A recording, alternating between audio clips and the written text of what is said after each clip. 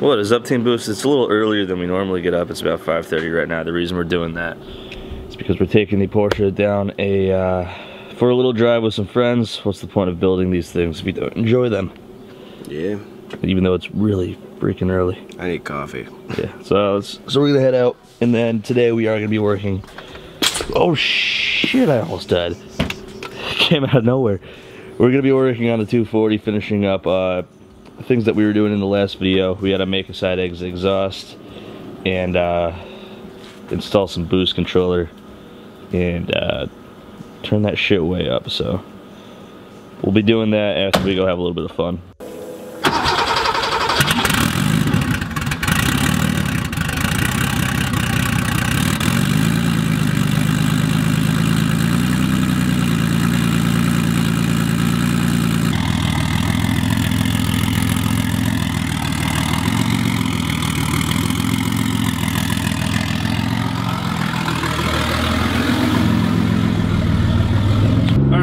local twisties. We got a weird mix of cars. We got R911, a GTI, a Civic SI, a Corvette Z06, and a V8 Challenger. And yeah. we're all stuck behind like a Yaris or some bullshit like that. I don't know what that is, like a like a Chevy Sonic or Yeah, I think it's a Yaris or some shit, but uh yeah, these are our local twisty roads. They're pretty they're pretty cool. Uh, but it's being ruined, so I don't know. uh, we're, we're in the beginning. Uh, we're, we're still out here driving. Usually when uh, you jam up seven cars deep behind somebody, they, they'll pull over eventually. Looks like that's oh, what's Look at that, right he's now. doing it right now. Oh, Jesus. Thank you, kind sir.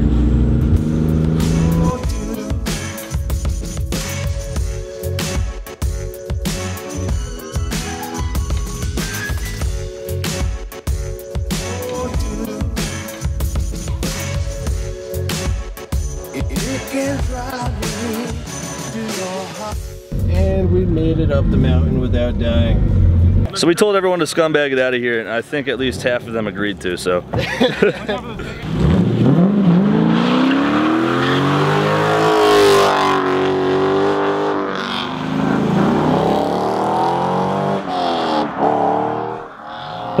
Give the Honda a go. uh, you know, they're pretty loud, but you know, that's probably like a, on a scale of one to 10. It was a moderate send. Get a, get a hard six. It was loud though, it was cool. It was sweet. we're gonna go grab some lunch and then we're gonna get started on the, uh, the Datsun. Fuck yeah.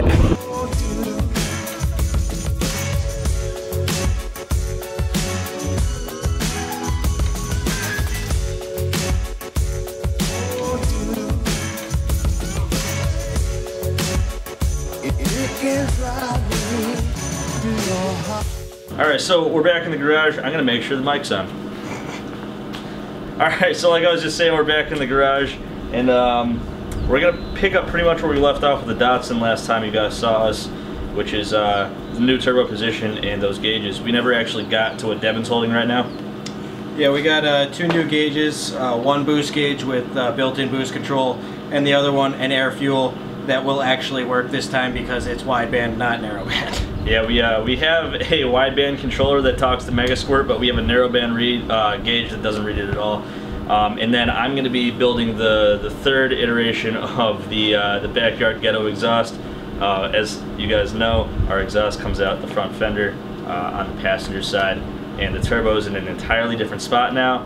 And uh, we ran out of daylight last time, so that's another one of those things. Basically doing this and doing that, and hopefully uh, we can see how the car sounds and with these gauges we could control the boost and make sure that it's not blowing up so we're gonna get right into it Yeah, let's do it.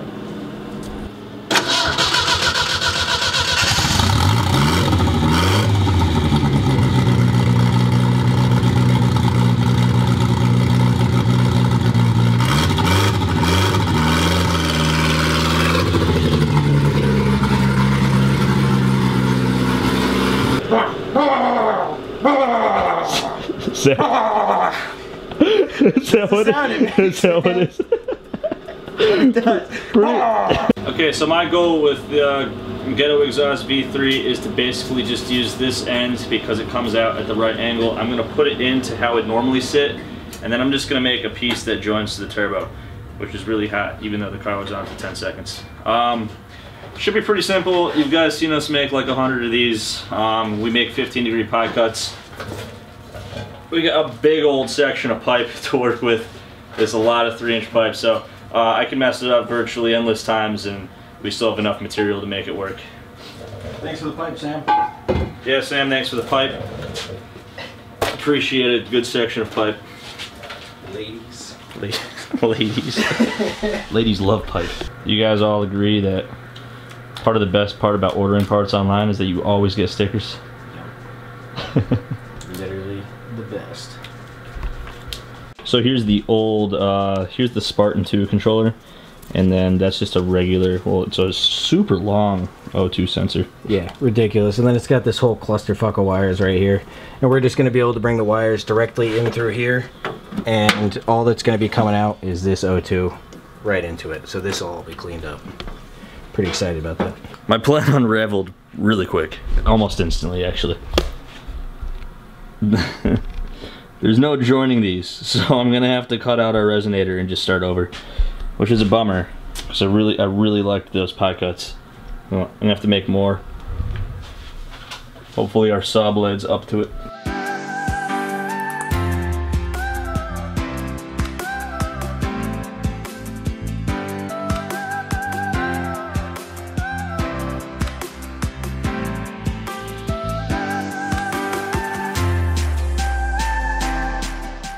Show you guys what we got going on over here. It's sticking out a little bit. I made the cut, like, well, I made the line where the cut needs to go. So what Devin's gonna do is all of this stuff's right. He's gonna tack weld it in the fender. That's why we got the wheel off. And uh, Ghetto Exhaust V3 will be complete. Yeah. Hopefully we can get it out of there after we tack it. Well, that's why it used to be like sticking out to here. I mean, if not, then we can just say final install, leave it like that.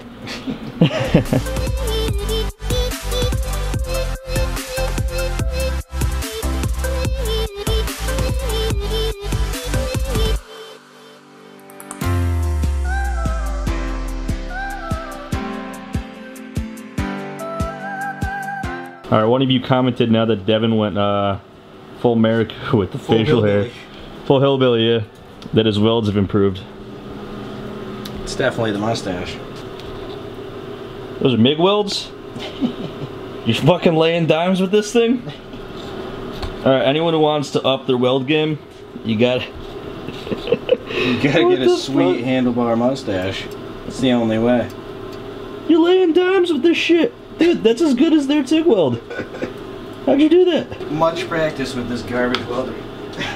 Seriously, goddamn. If you just hit this with a wire wheel, it'll look like a TIG weld. I Just gotta cut that tip off, and then this is definitely our best one yet. I'm so mad that's not stainless, because then we could like have it polished. Nah, that's too far, but Too much for this car. get- getting pretty good. When you do it 500 times. All right, so uh, our new boost setup's pretty simple. Um, we got this little solenoid here. Uh, what it does is it connects to the wastegate and then connects to the uh, the turbo. And this is going to be our new atmosphere. So on the top of the wastegate where it would normally be atmosphere, we're going to have this number two line going.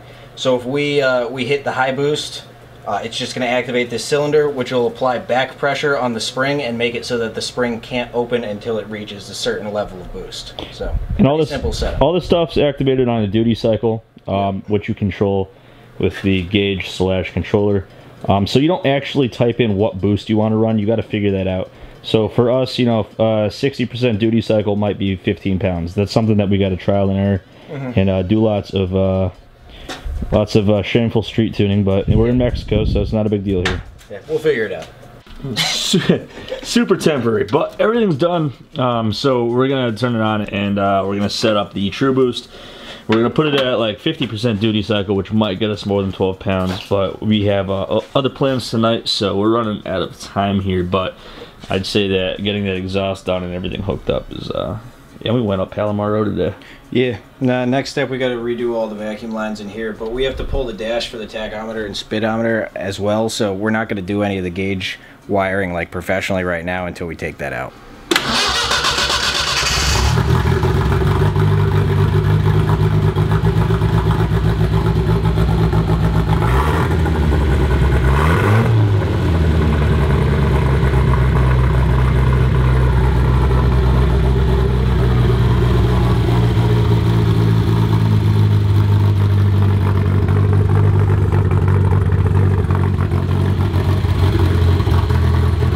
Lighting in my garage is uh, shit, but we're gonna we're gonna get it out. We're gonna warm it up. Uh, these are both connected and calibrated. We got this is chilling for now because it's gonna go up here where this old one is.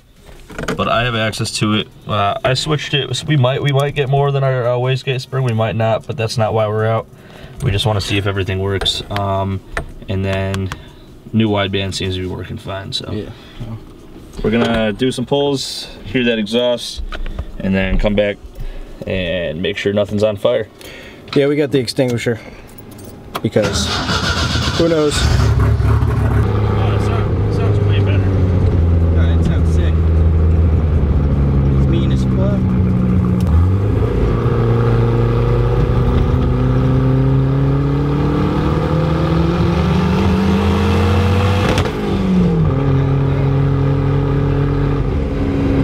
It still hits 12 pounds.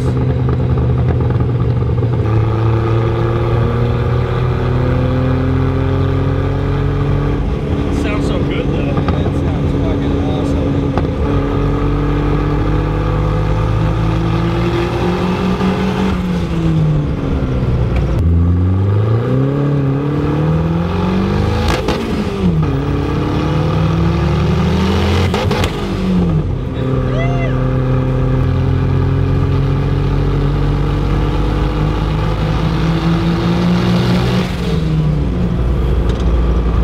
Fucking Christ.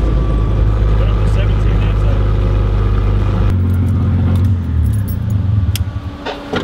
All right, guys, it's gonna do it for the Datsun today. Um, really ter uh, terrifying kind of drivetrain shake. Uh, we know it's not the motor because clutch all the way in, idling at a thousand, it's still going. It's it's out of control. So we definitely want to find out. Our front wheels are kind of facing outwards though, so we think the alignment might have gotten screwed with somehow. We just did like an eyeball alignment when we put on the new suspension and everything, and definitely didn't take time to perfect it or anything like that. In addition to that, we melted through our um, our very temporary vacuum lines almost instantly.